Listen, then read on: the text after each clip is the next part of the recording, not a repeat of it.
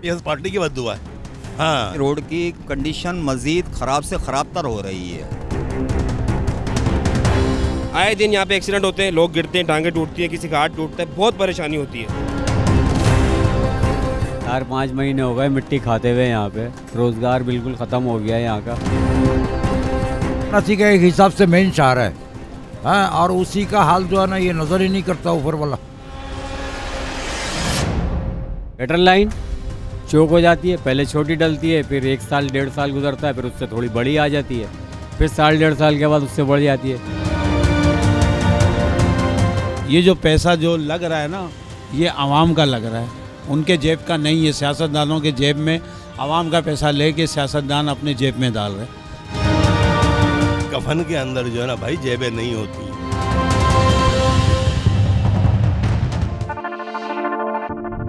Road की बदतरीन सूरत हाल और धूल मिट्टी से कपड़े भी ख़राब। मैं किसी सहरा में मौजूद नहीं, बल्कि बदकिस्मत जहांगीर रोड की दास्ता सुनाने आज आपको यहाँ पर आया हूँ। ये रोड कराची की अहम शाहराहों में से एक है, लेकिन हर छः महीने बाद इस रोड की यही सूरत हाल होती है। इस रोड की बदतरीन सूरत हाल के हवाले से यहाँ के लोगों से मज़ीद बात करते हैं। आप देख रहे हैं टाइम्स ऑफ़ कराची और मैं हूँ अनजार अहमद।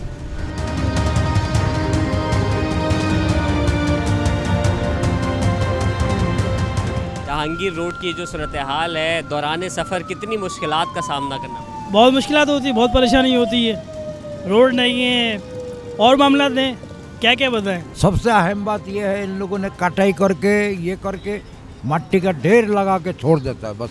ये आवाम की तकलीफ़ है, हम लोगों का तकलीफ़ है, अब क्या करें? ना रोज के मामूल है बस, इतने, क्योंकि ये कराची का एक हिसाब से मेन शहर है। हाँ और उसी का हाल जो है ना, ये नज़र ही नहीं करता ऊपर वाला।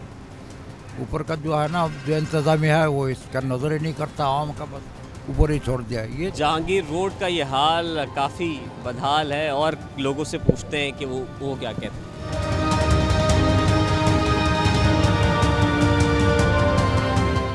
दो साल में चार दफ़ा ये लेने पड़ चुकी हैं। दो साल से डिमोलिज हुआ हुआ ये। इस पर लेने पड़ती हैं, समझे? सब अपने ठेकेदार अपना अपना बनाते हैं, कोई कुछ नहीं कर सकता। क्या करें? आप, आपने पचास जो दफ़ा इंटरव्यू कर लिए, क्या हुआ? कोई हासिल हुआ इसका? जितने यहाँ से वहाँ तक रहने वाले हैं या बैठने वाले हैं, दुकानदार हैं, सारे का सारे बेचारे परेशान हैं। इसका किसी बात को, किसी को भी एहसास ही नहीं है, किसी भी गवर्नमेंट को एहसास ही नहीं है। और क्या मसला आप पूछना चाहिए पार्टी की बद है। हाँ ये बता दूँ मैं आपका अगर बद है? तो मेरे पार्टी का हमारे इधारों की बदुआ है इनसे ज़रा कोई ये पूछ लेंगे, कफन के अंदर जो है ना भाई, जेबें नहीं होती हैं? कितना कर लोगे? कितना आवाम को तंग कर लोगे? एक दिन यही आवाम जो है ना आपके गले पड़ जाएगी। आएगा अल्लाह के फजल से वो दिन भी।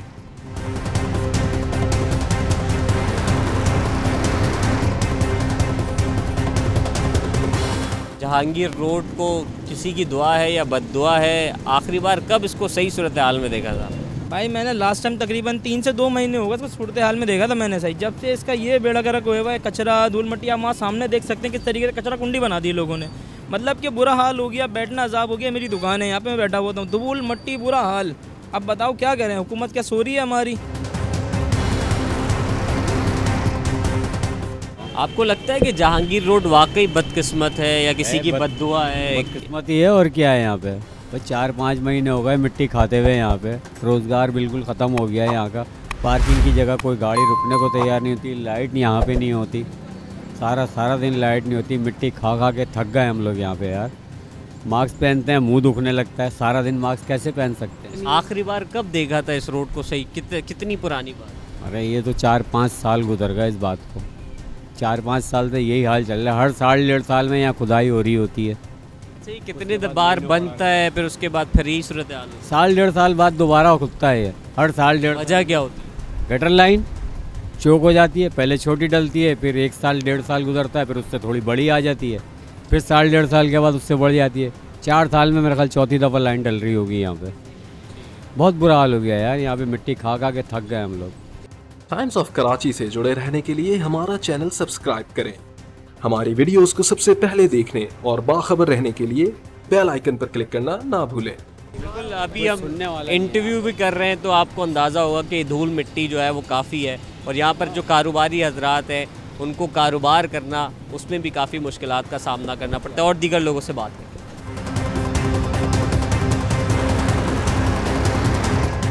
भाई, मैं तो यहाँ चक्कर लगा रहा हूँ। तकरीबन एक साल से मैं देख रहा हूँ, ये रोड की कंडीशन मज़ीद ख़राब से ख़राब तर हो रही है। बड़ी तकलीफ़ होती है स्पेशली पैदल चलने वालों के लिए तो अजाब से कम नहीं है ये। बस इतना अहम रोड है, लेकिन इंतज़ामिया और जो के वगैरह जिसका ये काम है, वो सोच ही नहीं रही है इसके बारे में। अल्लाह इनको हिदायत दे।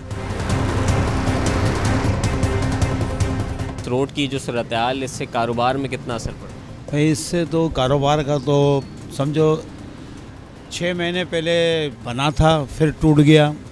जामिद लाकत के टाइम में बना था छः महीने तक रोड टूटा हुआ था।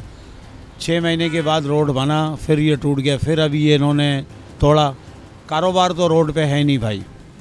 कारोबार तो अब माजी में भी ये कई दफ़ा ये रोड बना है। नहमतुल्ला खान साहब के दौर में ये रोड बना था। उसके बाद से ये ख़राब होता है, फिर बंद। 2020 से 2021 से तीन दफ़ा ये रोड टूटा है, बना है। 2021 से। तीन दफ़ा टूटा है और बना है। तीन दफ़ा ये गटर लाइन डाली गई है, तीसरी दफ़ा गटर लाइन डाली है। ये ये जो पैसा जो लग रहा है ना, ये आवाम का लग रहा है।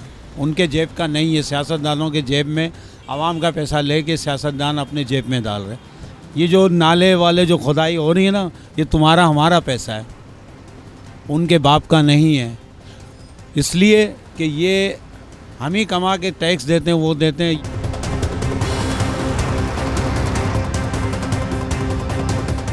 हमें यहाँ पे दस साल हो गए और हर छः महीने में ये काम निकलता है। इतनी परेशान होती है आवाम हमारे पास जो आती है। हम क्लिनिक हमारा यहाँ पे। आए दिन यहाँ पे एक्सीडेंट होते हैं, लोग गिरते हैं, टांगे टूटती हैं, किसी का हाथ टूटता है, बहुत परेशानी होती है। अच्छा इसके अलावा पूरा घूम के जाना पड़ता है। इस एंबुलेंस को बहुत परेशानी होती है। बहुत ज़्यादा इन्हीं आवाम परेशान है इस मामले से। लोगों का यही कहना है कि जहांगीर रोड का मसला ये नहीं कि रोड तामीर हो।